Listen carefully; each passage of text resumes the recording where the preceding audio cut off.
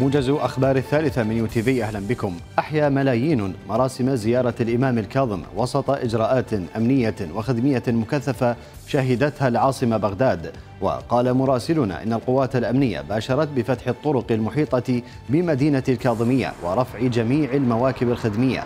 من جهتها أكدت مديرية المرور العامة بدء التفويج العكسي للزائرين إلى مناطقهم في بغداد والمحافظات بمشاركة وزارات الداخلية والدفاع والنقل وسط انسيابية الحركة في شوارع العاصمة.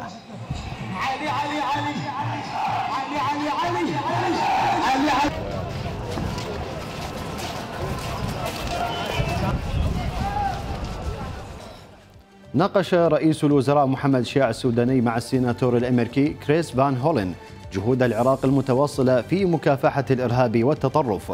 جاء ذلك خلال لقاء جمع الاثنين على هامش مشاركة السودان في مؤتمر بيونخ للأمن. تطرقا فيه إلى تأكيد دعم الإصلاحات الاقتصادية التي تبنتها الحكومة الحالية والمسار الذي تنتهجه في تنفيذ برنامجها الحكومي. وشهد اللقاء أيضا بحث علاقات التعاون المشترك بين العراق والولايات المتحدة الأمريكية وسبل توطيدها في مجالات عدة. قال المتحدث باسم حكومة إقليم كردستان جوتيار عادل إن الإقليم لا يزال يأمل في التوصل إلى حل وسط بشأن النقاط الخلافية مع بغداد مضيفا أن وفدا كرديا سيزور بغداد يوم الأحد المقبل. وفي تصريح نقلته وكالة رويترز نفى عادل أن يكون الحزب الديمقراطي الكردستاني هدد بسحب دعمه للحكومة مؤكدا أن هناك عقبات في طريق التوصل إلى اتفاق مع بغداد لكن هناك نية جادة وحقيقية من جانب حكومة الإقليم. وهي تشعر بجدية السودان في مساعي حل تلك العقبات. ونقل تقرير لرويترز عن نواب ومسؤولين أكراد قولهم إن الحزب الديمقراطي قد يسحب دعمه للحكومة الاتحادية إذا أخفق رئيس الوزراء في الوفاء بتعهداته بحل النزاعات بين بغداد وأربيل.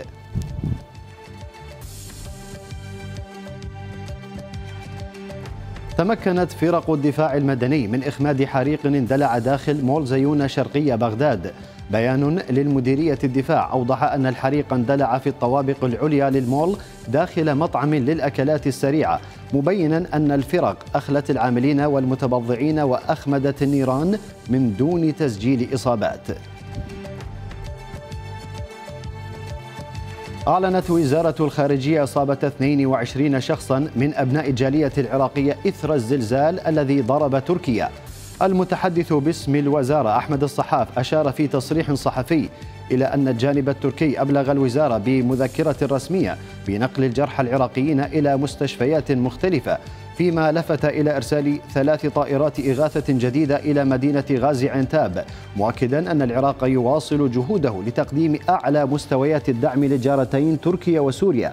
هذا وسيرت بغداد ليلة أمس 13 طائرة محملة بمواد الإغاثة لضحايا الزلزال في تركيا. نلقاكم بعد أقل من ساعة على رأس الرابعة. إلى اللقاء.